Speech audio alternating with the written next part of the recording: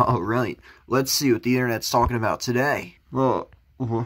it's it's all about Morbius. Why is it? Why is it all Morbius?